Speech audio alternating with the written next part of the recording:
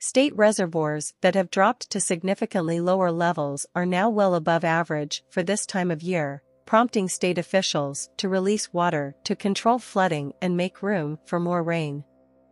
The increase of rain and heavy snowfall in the Rocky Mountains could cause Lake Mead's water levels to rise.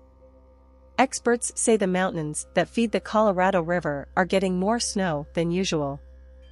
Forecasters now expect Lake Mead to be at about 1,027 feet this year, about 19 feet below its current level. Lake Mead water levels are at 1,046.09 feet as of March 12. Snow cover throughout the region is well above average with parts of California and Nevada now nearing or exceeding 200% of the average for this time of year.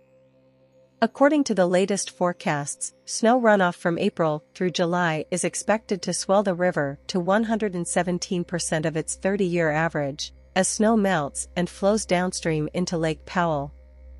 The National Weather Service said Saturday's rain and snowfall will increase Monday through Wednesday, with significant flooding likely through the middle of the week along California's central coast, the San Joaquin and Sacramento valleys, and the southern tip of the Sierra Nevada. Heavy snow is expected to return to the Sierra and higher elevations by the middle of the week, according to the Bureau of Meteorology. Officials reported about 32 inches of snowfall on Saturday morning at the Mount Rose Ski Resort outside Reno, Nevada.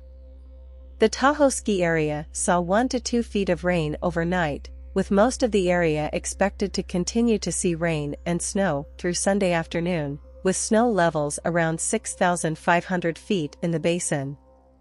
A recent storm prompted California to release water from Lake Oroville's main spillway at noon Friday. Melting snow is likely to keep the lake level rising in the coming months.